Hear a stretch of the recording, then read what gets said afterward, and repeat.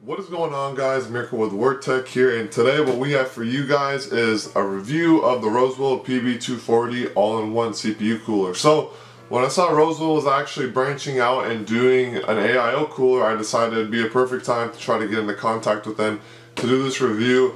Uh, obviously there's a lot of different AIO coolers in the market for around this price range of $120, but let's see if it will stand up next to its other competitors. This is my air-cooled setup. I had 320 20mm fan bringing in air to the case, push-pull setup with my Hyper 212 Evo, and a fan in the rear and top of the case to exhaust the warm air. With this setup, it worked pretty well and had no issues. My only complaint was that at full speeds, it sounded like a jet was taking off in my room. When we got into contact with Rosewill about the PB240, we thought this would be a perfect fit for how popular as AIO coolers are now. The PB240 all-in-one CPU cooler comes in at $120 and fits in the category of its competitors. The PB240 uses an advanced closed loop design that comes with a pre-filled coolant and a high power pump for rapid liquid, liquid circulation without worries of leakage or refill. The fans on this AIO are extremely quiet. I was very impressed when first powering on the system for the first time. The quiet pulse width modification fan is built to ramp up or lower your fan and pump speed, allowing you to get more control over cooling and sound. The tubes on the AIO that house the water are really great quality. However, they are a little stiff which makes installation and mounting a little bit harder. What makes it easier to mount this AIO is that the tubes connected to the block cooler is able to go side to side with the swivel so that you can change the angle that they are at. Overall, the CPU cooler is really nice. Installation was actually fairly simple thanks to the diagrams they give you. You will start off by putting the backplate onto the motherboard, grab four of the backplate screws and washers, put it in through the board, thread it so that you can see them looking inside the case. Next, place the black cylinders given through the plate screws. The next part is a little bit tricky. To help with this, I mounted just the radiator in place so it would hold in place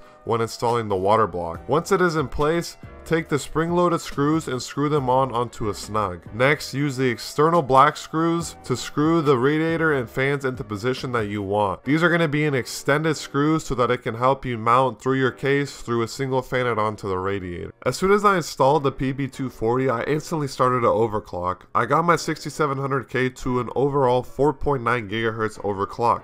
Here are a few benchmarks and numbers that I did before using the PB240 and with my previous Hyper 212 Evo setup. Now, these numbers are going to vary because obviously I wasn't overclocking at 4.9 GHz with my Hyper 212 Evo, but hopefully this can kind of give you an idea to see what kind of improvements that you will actually be seeing with an AIO cooler like this.